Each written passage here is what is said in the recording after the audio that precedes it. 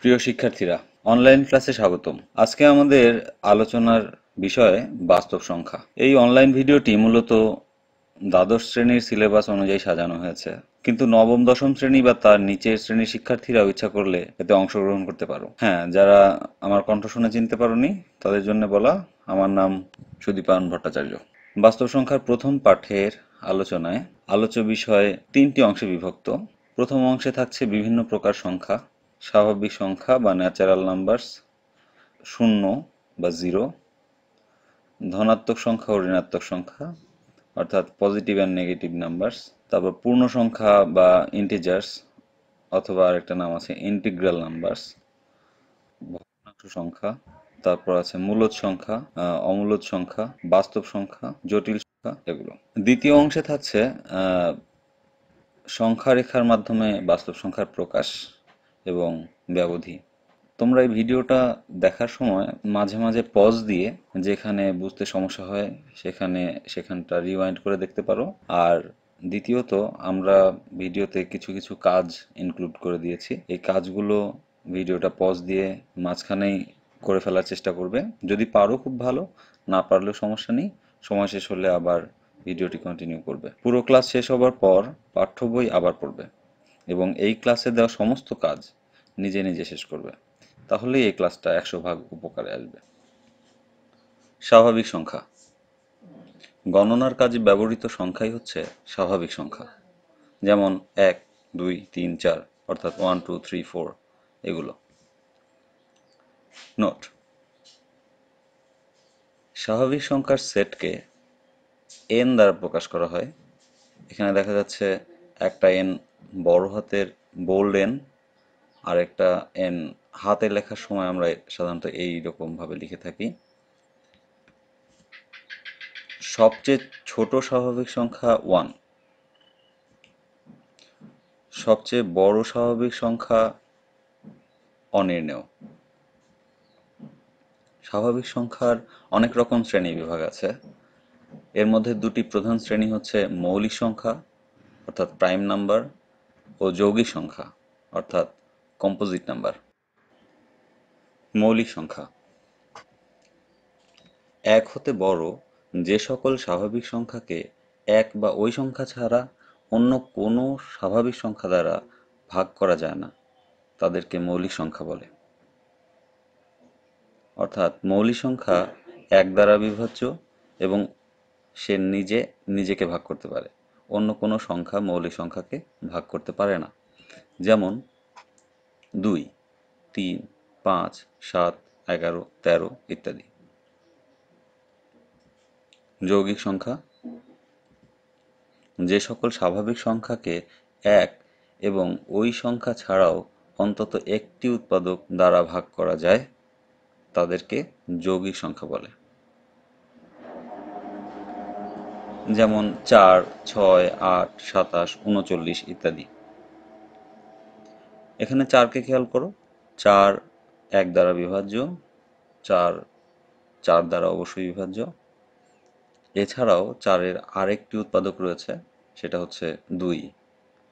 আবার ছয়, ছয়কে এক দ্বারা ভাগ করা যাবে এবং ছয় দ্বারা তো ভাগ করা যাবেই। কিন্তু এক এবং ছয় ছাড়াও ছয়কে দুই এবং তিন দ্বারা ভাগ করা যায়। তাই ছয়ও যৌগিক সংখ্যা। এবারে তোমাদের জন্য ব্রেইন বুস্টার সময় তিন মিনিট। স্বাভাবিক সংখ্যার চারটি বৈশিষ্ট্য লিখো। জোড় ও বিজোড় স্বাভাবিক সংখ্যার সংজ্ঞা লিখো। দুইটি স্বাভাবিক সংখ্যার মধ্যে যোগ, বিয়োগ, গুণ, ভাগ ইত্যাদি প্রক্রিয়ায় প্রাপ্ত সংখ্যাগুলি কিরূপ হবে তা ব্যাখ্যা করো। কোনো স্বাভাবিক সংখ্যার সাথে কত যোগ করলে যোগফলে ওই সংখ্যাটি ফিরে আসে? একটি স্বাভাবিক সংখ্যার সাথে কোন সংখ্যা যোগ করলে ফলাফল শূন্য হবে?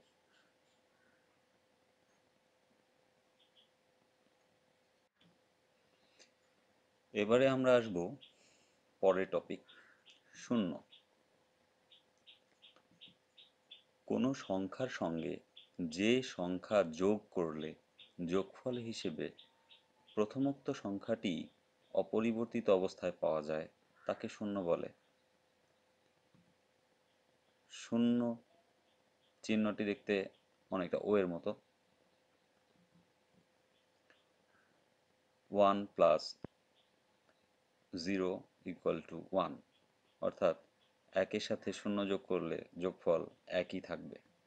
দুইয়ের সাথে শূন্য যোগ করলে যোগফল দুইই থাকবে। সাতের সাথে শূন্য যোগ করলে যোগফল সাতই হবে।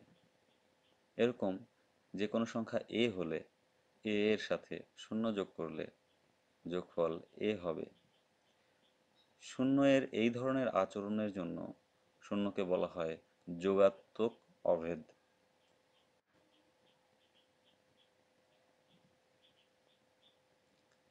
ধনাত্মক ও ঋণাত্মক সংখ্যা। তোমরা জানো ধনাত্মক সংখ্যার ইংরেজি পজিটিভ নাম্বার এবং ঋণাত্মক সংখ্যার ইংরেজি নেগেটিভ নাম্বার শূন্যের চেয়ে বড় সংখ্যাকে ধনাত্মক সংখ্যা এবং শূন্যের চেয়ে ছোট সংখ্যাসমূহকে ঋণাত্মক সংখ্যা হিসেবে আখ্যায়িত করা হয়েছে। ধনাত্মক সংখ্যার সামনে কোনো চিহ্ন দেওয়া হয় না, অথবা প্লাস চিহ্ন দেওয়া যেতে পারে। ঋণাত্মক সংখ্যার সামনে মাইনাস চিহ্ন দিয়ে লেখা হয়। অর্থাৎ ধনাত্মক সংখ্যার সামনে মাইনাস চিহ্ন দিলে ঋণাত্মক সংখ্যা প্রকাশ করা হয়। যেমন ওয়ান, একটি ধনাত্মক সংখ্যা, যোগ মাইনাস ওয়ান। মাইনাস ওয়ান একটি ঋণাত্মক সংখ্যা, দুটি যোগ করলে শূন্য হয়। দুই, একটি ধনাত্মক সংখ্যা, মাইনাস দুই আরেকটি ঋণাত্মক সংখ্যা। দুইয়ের সাথে মাইনাস দুই যোগ করলে যোগফল জিরো হয়। সাত এবং মাইনাস সাত যোগ করলে যোগফল শূন্য। এরকম যে কোনো ধনাত্মক সংখ্যা এ হলে a plus minus a equal to zero এ কারণে এ এবং মাইনাস একে পরস্পর যোগাত্মক বিপরীত বলা হয়। পূর্ণ সংখ্যা বা ইন্টিজার্স সকল স্বাভাবিক সংখ্যা শূন্য এবং সকল স্বাভাবিক সংখ্যার যোগাত্মক বিপরীত সংখ্যাকে একত্রিত করে যে সংখ্যা সেট পাওয়া যায় তাকে পূর্ণ সংখ্যার সেট বলে। এই সেটের প্রতিটি উপাদান এক একটি পূর্ণ সংখ্যা। যেমন minus three minus two minus one zero one two three এগুলো। পূর্ণ সংখ্যার সেটকে বোল্ড জেড দ্বারা প্রকাশ করা হয় হাতে লেখার সময়। স্লাইডে দেখানো উপায়ে লেখা হয়। সবচেয়ে বড় পূর্ণ সংখ্যা অনির্ণেয়, কিন্তু ধনাত্মক। সবচেয়ে ছোট পূর্ণ সংখ্যাও অনির্ণেয়, কিন্তু ঋণাত্মক।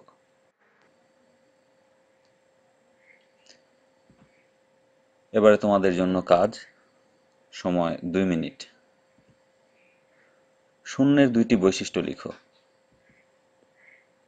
যোগাত্মক বিপরীত সংখ্যা বলতে কি বোঝায় লিখো। কোনো ছোট স্বাভাবিক সংখ্যা হতে বড় স্বাভাবিক সংখ্যা বিয়োগ করলে বিয়োগফলে কি ধরনের সংখ্যা আসে? একটি সংখ্যা এ ঋণাত্মক হলে মাইনাস এ কি ধরনের সংখ্যা?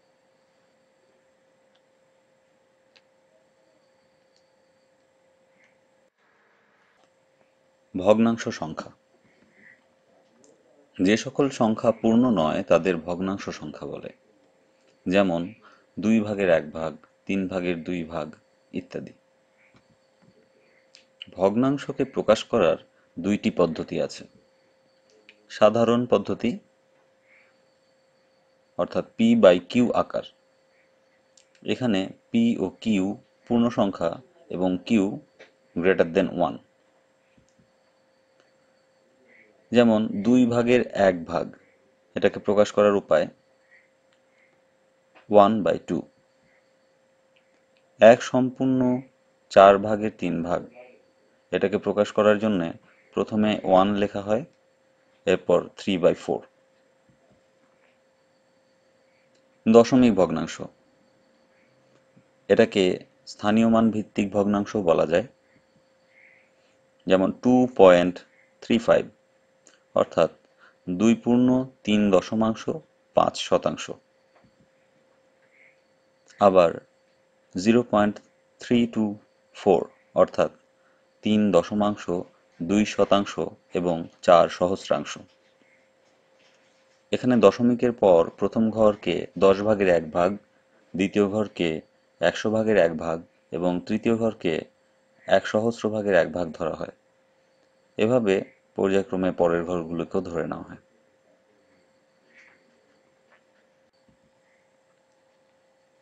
মূলদ সংখ্যা বা রেশনাল নাম্বারস যে সকল সংখ্যাকে দুইটি পূর্ণ সংখ্যার অনুপাত বা ভাগফল আকারে প্রকাশ করা যায়, তাকে মূলদ সংখ্যা বলে। এর সেটকে কিউ দ্বারা চিহ্নিত করা হয়। অন্য কথায়, যে সকল সংখ্যাকে পি বাই কিউ আকারে প্রকাশ করা যায়, যেন পি পূর্ণ সংখ্যা ও কিউ স্বাভাবিক সংখ্যা হয়, তাদেরকে মূলদ সংখ্যা বলে। যেমন থ্রি বাই ফোর বা minus one point zero three ইত্যাদি।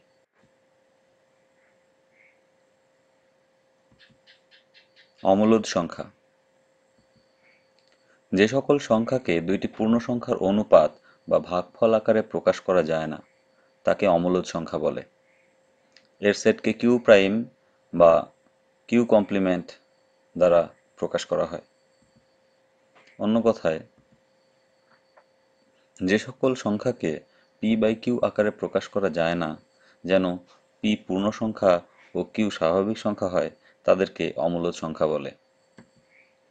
যেমন one point zero one zero zero one zero zero zero one zero zero zero zero one dot dot dot root over five বা পাই ইত্যাদি।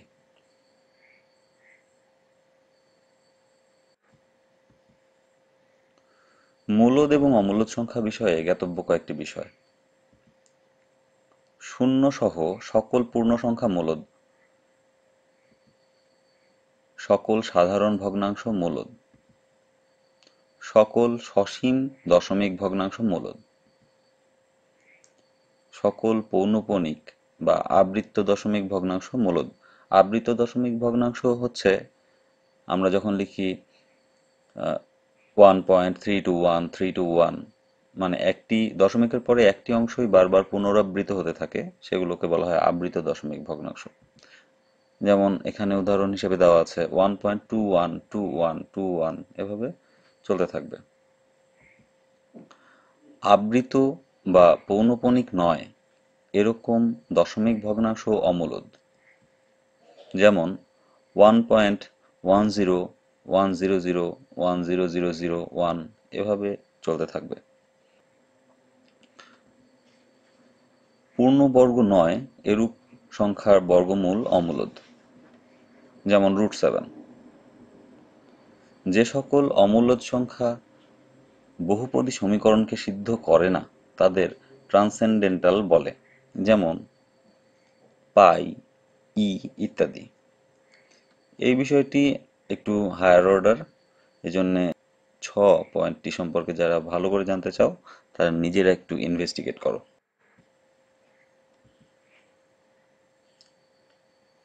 এরপরে আসছে বাস্তব সংখ্যা। সকল মূলদ এবং অমূলদ সংখ্যার সাধারণ নাম বাস্তব সংখ্যা। অর্থাৎ সকল মূলদ ও অমূলদ সংখ্যার সেটকে বাস্তব সংখ্যার সেট বলে। এই সেটকে বোল্ড আর দ্বারা প্রকাশ করা হয়। অর্থাৎ আর সমান সমান কিউ ইউনিয়ন কিউ প্রাইম বাস্তব সংখ্যার উদাহরণ হিসেবে যে কোনো সংখ্যা লিখে দিতে পারো। যেমন ওয়ান একটি বাস্তব সংখ্যা থ্রি পয়েন্ট টু ওয়ান একটি বাস্তব সংখ্যা পাই একটি বাস্তব সংখ্যা one zero two one point three three three three three three three three dot dot dot এটিও একটি বাস্তব সংখ্যা।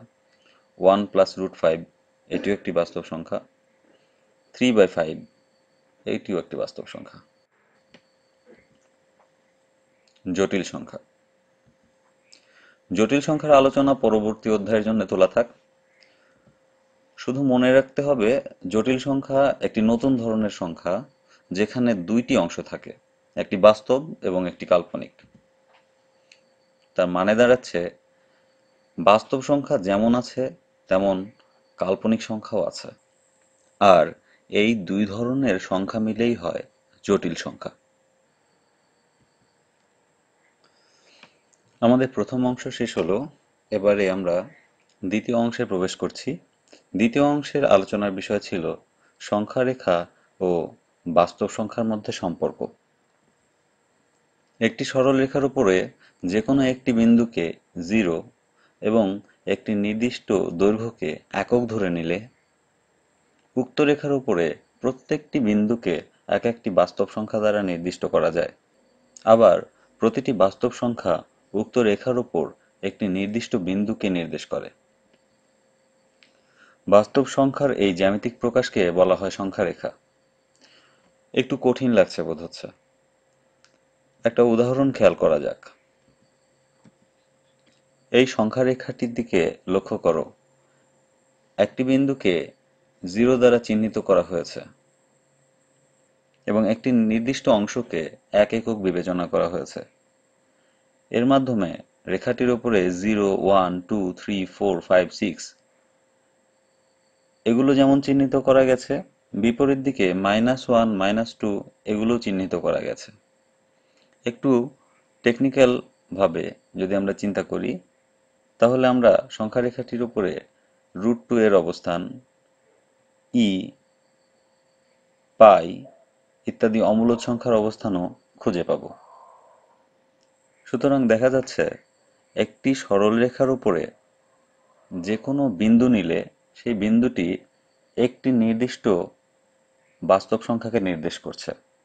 আবার তুমি যদি মনে মনে একটি বাস্তব সংখ্যা কল্পনা করে নাও, সেই বাস্তব সংখ্যাটি তুমি এই সংখ্যা রেখার উপরে কোনো না কোনো বিন্দুতে খুঁজে পাবে।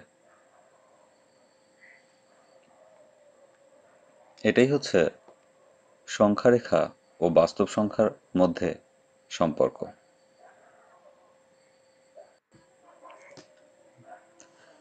এরপর সর্বশেষ আলোচনার বিষয় ব্যবধি। ব্যবধি কি? বাস্তব সংখ্যার বা সংখ্যা রেখার কোনো নিরবিচ্ছিন্ন অংশ কেটে নিলে যে সেট পাওয়া যায় তাকে ব্যবধি বলে। ব্যবধি বিশেষ প্রকারের সেট। বিধায় ব্যবধি প্রকাশ করার জন্য বিশেষ নিয়ম অবলম্বন করা হয়। আমাদের মূলত এই নিয়মগুলিকেই শিখে রাখতে হবে। ভবিষ্যতের ব্যবহারের জন্য আমাদের ব্যবধি প্রকাশের নিয়মাবলীগুলো জেনে ফেলা খুবই গুরুত্বপূর্ণ। ব্যবধিকে সেট বা সংখ্যা রেখায় দেখানো যায়। যেমন, এক থেকে দুই পর্যন্ত সকল বাস্তব সংখ্যার সেট। এটি একটি ব্যবধি। কারণ এটি নিরবিচ্ছিন্ন একটি অংশ। সংখ্যা রেখার মধ্যে এক থেকে দুই পর্যন্ত সকল বাস্তব সংখ্যার সেট, এটি সংখ্যা রেখার মধ্যে একটি নিরবিচ্ছিন্ন অংশ।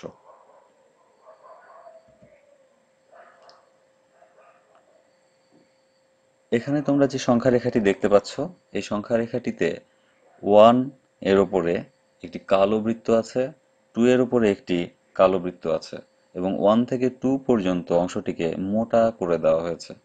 এর অর্থ, যে অংশটি দেখানো হয়েছে, সেটি হচ্ছে ওয়ান থেকে টু পর্যন্ত সকল বাস্তব সংখ্যার সেট চিত্রের ব্যবধিটিকে সেটের সাহায্যে দেখানো হলে আমরা কি লিখতে পারি? Third bracket one comma two third bracket close equal to সেটের বিল্ডার্স পদ্ধতিতে দেখানো হয়েছে এক্স বাস্তব সংখ্যার সদস্য যেন এক্স ওয়ান হতে বড় অথবা সমান এবং টু হতে ছোট অথবা সমান। আমাদের প্রথম অংশ শেষ হলো, এবারে আমরা দ্বিতীয় অংশে প্রবেশ করছি। দ্বিতীয় অংশের আলোচনার বিষয় ছিল সংখ্যা রেখা ও বাস্তব সংখ্যার মধ্যে সম্পর্ক। একটি সরল রেখার উপরে যে কোনো একটি বিন্দুকে জিরো একটি নির্দিষ্ট দৈর্ঘ্যকে একক ধরে নিলে উক্ত রেখার উপরে প্রত্যেকটি বিন্দুকে এক একটি বাস্তব সংখ্যা দ্বারা নির্দিষ্ট করা যায়। আবার প্রতিটি বাস্তব সংখ্যা উক্ত রেখার উপর একটি নির্দিষ্ট বিন্দুকে নির্দেশ করে। বাস্তব সংখ্যার এই জ্যামিতিক প্রকাশকে বলা হয় সংখ্যা রেখা একটু কঠিন লাগছে বোধ হচ্ছে একটা উদাহরণ খেয়াল করা যাক। এই সংখ্যা রেখাটির দিকে লক্ষ্য করো। একটি বিন্দুকে জিরো দ্বারা চিহ্নিত করা হয়েছে এবং একটি নির্দিষ্ট অংশকে এক একক বিবেচনা করা হয়েছে। এর মাধ্যমে রেখাটির উপরে zero, one, two, three, four, five, six এগুলো যেমন চিহ্নিত করা গেছে, বিপরীত দিকে মাইনাস ওয়ান, মাইনাস টু এগুলো চিহ্নিত করা গেছে। একটু টেকনিক্যাল ভাবে যদি আমরা চিন্তা করি তাহলে আমরা সংখ্যা রেখাটির উপরে রুট টু এর অবস্থান ই পাই ইত্যাদি অমূলদ সংখ্যার অবস্থানও খুঁজে পাব। সুতরাং দেখা যাচ্ছে একটি সরলরেখার উপরে যে কোনো বিন্দু নিলে সেই বিন্দুটি একটি নির্দিষ্ট বাস্তব সংখ্যাকে নির্দেশ করছে। আবার তুমি যদি মনে মনে একটি বাস্তব সংখ্যা কল্পনা করে নাও, সেই বাস্তব সংখ্যাটি তুমি এই সংখ্যা রেখার উপরে কোনো না কোনো বিন্দুতে খুঁজে পাবে। এটাই হচ্ছে সংখ্যা রেখা ও বাস্তব সংখ্যার মধ্যে সম্পর্ক। এরপর সর্বশেষ আলোচনার বিষয় ব্যবধি। ব্যবধি কি? বাস্তব সংখ্যার বা সংখ্যা রেখার কোনো নিরবিচ্ছিন্ন অংশ কেটে নিলে যে সেট পাওয়া যায় তাকে ব্যবধি বলে। ব্যবধি বিশেষ প্রকারের সেট। বিধায় ব্যবধি প্রকাশ করার জন্য বিশেষ নিয়ম অবলম্বন করা হয়। আমাদের মূলত এই নিয়মগুলিকেই শিখে রাখতে হবে। ভবিষ্যতের ব্যবহারের জন্য আমাদের ব্যবধি প্রকাশের নিয়মাবলীগুলো জেনে ফেলা খুবই গুরুত্বপূর্ণ।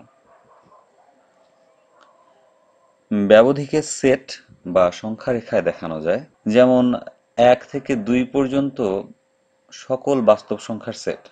এটি একটি ব্যবধি। এক থেকে দুই পর্যন্ত সকল বাস্তব সংখ্যার সেট। এটি সংখ্যা রেখার মধ্যে একটি নিরবিচ্ছিন্ন অংশ। এখানে তোমরা যে সংখ্যা রেখাটি দেখতে পাচ্ছ, এই সংখ্যা রেখাটিতে ওয়ানের ওপরে একটি কালো বৃত্ত আছে, টু এর উপরে একটি কালো বৃত্ত আছে এবং ওয়ান থেকে টু পর্যন্ত অংশটিকে মোটা করে দেওয়া হয়েছে। এর অর্থ যে অংশটি দেখানো হয়েছে, সেটি হচ্ছে ওয়ান থেকে টু পর্যন্ত সকল বাস্তব সংখ্যার সেট। চিত্রের ব্যবধিটিকে সেটের সাহায্যে দেখানো হলে আমরা কি লিখতে পারি? এখানে ব্যবধি চিহ্নিত করা হয়েছে third bracket one comma two third bracket close equal to সেটের বিল্ডার্স পদ্ধতিতে দেখানো হয়েছে এক্স বাস্তব সংখ্যার সদস্য যেন এক্স ওয়ান হতে বড় অথবা সমান এবং টু হতে ছোট অথবা সমান, খোলা ব্যবধি। চিত্রে একটি ব্যবধি দেখতে পাচ্ছ, এটাকে খোলা ব্যবধি বলা হচ্ছে। কেন বলা হচ্ছে?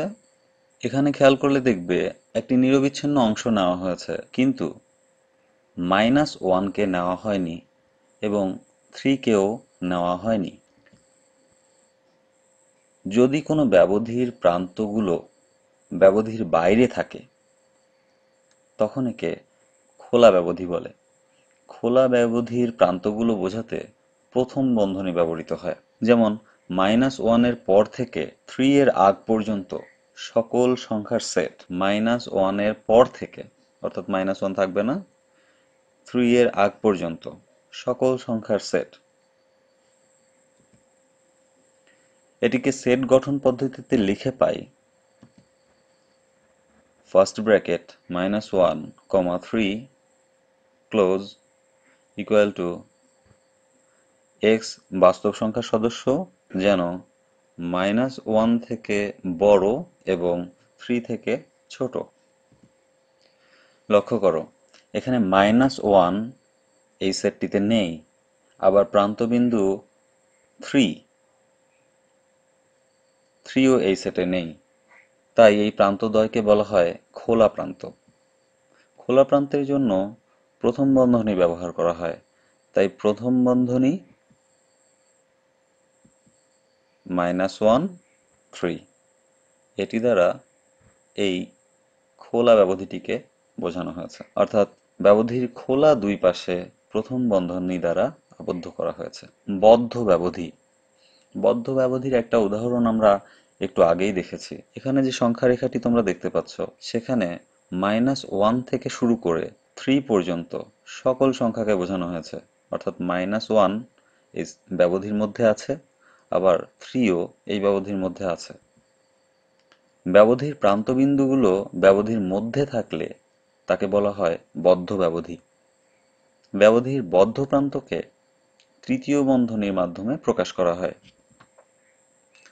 এই সেটটিতে মাইনাস ওয়ান থেকে শুরু করে থ্রি পর্যন্ত সকল সংখ্যার সেট দেখানো হয়েছে, যা একটি বদ্ধ ব্যবধি।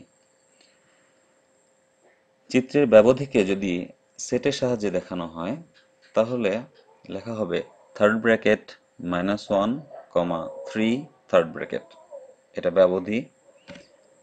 এটার সমান হবে x belongs to R such that minus one less than equal to x less than or equal to three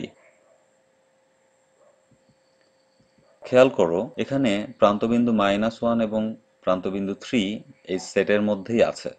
তাই এই প্রান্তবিন্দু দ্বয়কে বলা হবে বদ্ধ। বদ্ধ প্রান্তবিন্দুর জন্য তৃতীয় বন্ধনী ব্যবহার করা হয়। তাই ব্যবধির বদ্ধ দুই পাশে তৃতীয় বন্ধনী দ্বারা আবদ্ধ হয়েছে। এরপর আসি ডান আবদ্ধ ব্যবধি, যাকে আমি বলি ডানাবদ্ধ ব্যবধি। ব্যবধির প্রান্তবিন্দুগুলোর মধ্যে বড়টি বা ডান পাশেরটি সেটের মধ্যে আছে এবং ছোটটি খোলা, অর্থাৎ সেটের মধ্যে নেই। এরকম ব্যবধিকে বলা হয় ডান আবদ্ধ ব্যবধি। যেমন, মাইনাস ওয়ানের পর থেকে শুরু করে থ্রি পর্যন্ত সকল সংখ্যার সেট একটি ডান আবদ্ধ ব্যবধি। একটু খেয়াল করো। চিত্রের ব্যাপারটিকে সেটের সাহায্যে দেখানো হলে মাইনাস ওয়ান, মাইনাস ওয়ানের পূর্বে প্রথম বন্ধনী ব্যবহার করা হয়েছে, কারণ মাইনাস ওয়ান এই সেটের মধ্যে নেই। এবং থ্রি থ্রি এর পরে থার্ড ব্র্যাকেট ব্যবহার করা হয়েছে। এরপর এটাকে সেট আকারে প্রকাশ করলে পাওয়া যায় x belongs to R such that minus one less than x less than or equal to three লক্ষ্য করো, এখানে প্রান্তবিন্দু মাইনাস ওয়ান এই সেটে নেই এবং প্রান্তবিন্দু থ্রি এই সেটে আছে। তাই ডান পাশেরটি বদ্ধ। এই জন্যে বাম পাশে প্রথম বন্ধনী এবং ডান পাশে বদ্ধ বন্ধনী, অর্থাৎ তৃতীয় বন্ধনী ব্যবহার করা হয়েছে, এবং মাইনাস ওয়ানের সাথে প্রথম বন্ধনী এবং থ্রি এর সাথে তৃতীয় বন্ধনী এসেছে। বামাবদ্ধ ব্যবধি। ব্যবধির প্রান্তবিন্দুগুলোর বড়টি বা ডানেটি সেটের মধ্যে না থাকলে এবং ছোটটি বদ্ধ থাকলে, অর্থাৎ সেটের মধ্যে থাকলে বলা হয় বামাবদ্ধ ব্যবধি। এই ব্যবধির বদ্ধ অর্থাৎ বাম প্রান্তকে তৃতীয় বন্ধনী এবং ডান পাশের খোলা প্রান্ত প্রথম বন্ধনী দিয়ে আবদ্ধ করা হয়। যেমন মাইনাস ওয়ান থেকে শুরু করে থ্রি এর আগ পর্যন্ত সকল সংখ্যার সেট একটি বাম আবদ্ধ ব্যবধি। অর্থাৎ থ্রি এই সেটের মধ্যে নেই মাইনাস ওয়ান এই সেটের মধ্যে আছে। তার মানে মাইনাস ওয়ান বদ্ধ থ্রি খোলা। সেটের সাহায্যে দেখানো হলে পাওয়া যায় third bracket minus one comma three first bracket equal to x belongs to R such that minus 1 less than equal to x less than 3 লক্ষ্য করো, এখানে থ্রি এই সেটে নেই মাইনাস ওয়ান এই সেটে আছে, বামে বদ্ধ, তাই বাম পাশে থার্ড ব্র্যাকেট ডান পাশে first bracket minus one three তোমাদের জন্য কাজ। মাইনাস টু থেকে শুরু করে থ্রি পর্যন্ত সকল সংখ্যার সেট লিখো। সেটটিকে সংখ্যা রেখায় দেখাও, ব্যবধি আকারে প্রকাশ করো। চার হতে বড় এবং পাঁচ হতে ছোট সংখ্যার সেট কি হবে? তা ব্যবধি আকারে প্রকাশ করো, সংখ্যা রেখায় দেখাও। তিন হতে ছোট, মাইনাস টু এর চেয়ে ছোট নয়। এমন সকল সংখ্যার সেটকে কি ব্যবধি বলা যায়? সংখ্যা রেখা সেট এবং ব্যবধি আকারে লিখো। ঋণাত্মক দিকের অসীম থেকে শুরু করে শূন্য পর্যন্ত সকল বাস্তব সংখ্যার সেটকে ব্যবধি আকারে লিখো। সংখ্যা রেখা দেখাও। স্ক্রিনে দেখানো প্রবলেমটিকে সমাধান করো। স্ক্রিনে দেখানো প্রবলেমটিকে সমাধান করো। তিনটি সেট দেওয়া আছে। একটিতে দ্বিতীয় বন্ধনী ব্যবহার করা হয়েছে, একটিতে তৃতীয় বন্ধনী এবং একটিতে প্রথম বন্ধনী ব্যবহার করা হয়েছে। এই তিনটি সেটের মধ্যে পার্থক্য লিখো। মনে রেখো, ব্যবধি লিখতে সর্বদা ছোট সংখ্যাটি হাতের বামে লিখতে হয় বড়টি ডানে। বদ্ধ প্রান্ত।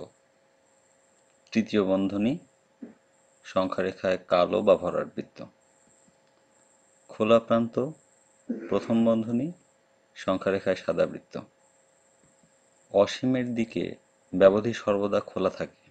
অর্থাৎ, অসীমের ক্ষেত্রে সর্বদা ফার্স্ট ব্র্যাকেট। মাইনাস ইনফিনিটি থেকে প্লাস ইনফিনিটি পর্যন্ত ব্যবধিকে বাস্তব সংখ্যার সেট বলা হয়।